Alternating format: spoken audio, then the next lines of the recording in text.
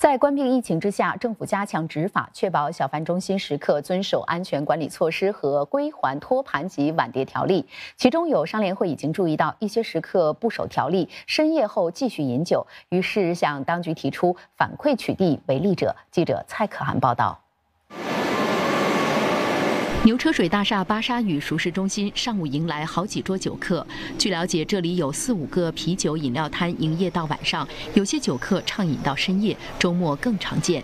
商联会表示，熟食中心日前出现确诊例，被迫关闭，近期病例又不断攀升，上个月重开后就配合当局的执法行动。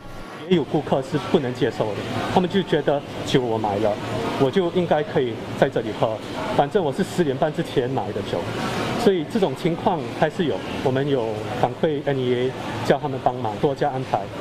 所以在这近一个月来，其实我们看到呃违反条例的人是越来越少了。在海格路巴沙鱼小贩中心，商联会表示，目前唯一营业中的啤酒档傍晚就收摊，因此没有深夜饮酒的问题。但有清洁工透露，有食客忽视其他防疫措施。啊，桌子他们不是有绑吗？他们跟他掀起来，没有遵守说有个距离两个人坐的，没有照做，四个人、五个人也是一样照做。其实商联会。没有这个这这个实力去跟他们讲，我们发信通知摊主，他们留意一下他们的口罩，毕竟现在还是有疫情在这边。另一方面，两个熟食中心对于归还托盘和碗碟条例所取得的成效表示满意。